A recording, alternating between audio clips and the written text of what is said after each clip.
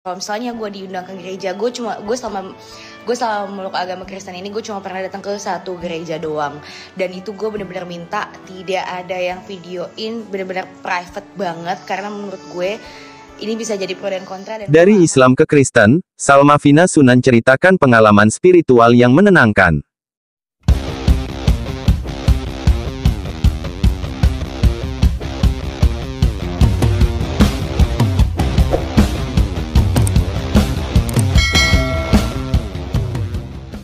Pasca bercerai dengan Taki Malik, Salma Vina Sunan menuai pro dan kontra dari warganet lantaran mengubah penampilannya dari berhijab syari hingga melepas hijab.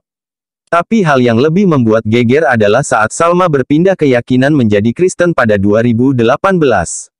Sejak Salma Vina pindah agama dari Islam ke Kristen, putri pengacara kondang Sunan Kalijaga ini kerap mendapatkan cibiran dari warganet.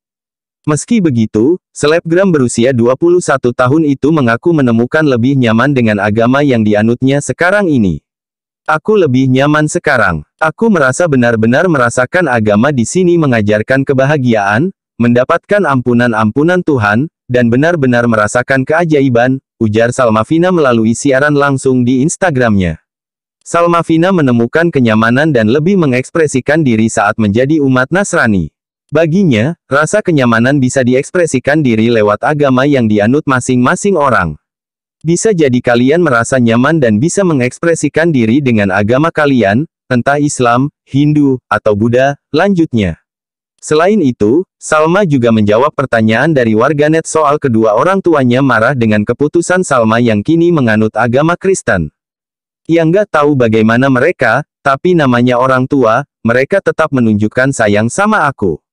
Bahkan waktu ulang tahun kemarin, harapan ayah ibuku agar aku tetap menjadi Salma yang mereka kenal, tak usah dengerin kata orang, tegasnya. Walau sudah berpindah agama, Salma Vina tidak akan menghapus foto dirinya yang masih berhijab di media sosialnya. Karena menurutnya, itu sebuah kenangan dan dijadikan pembelajaran ke depan. Masih ada, aku enggak delete, enggak akan hapus, itu perjalanan hidup aku. Someday, aku bisa lihat oh aku sudah melewati semua itu sekarang, tahap-tahap itu membuat aku belajar, ujarnya. Diketahui, pernikahan Taki Malik dan Salma Vina sempat jadi sorotan publik.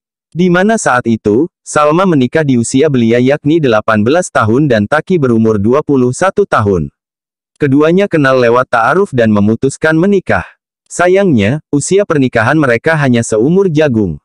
Taki menjatuhkan talak satu pada tanggal 20 November tahun 2017 lewat sambungan telepon. Keduanya kemudian resmi bercerai pada tanggal 21 Februari tahun 2018. Pasca bercerai dengan Taki Malik, Salma memantapkan diri untuk pindah agama menjadi Kristen.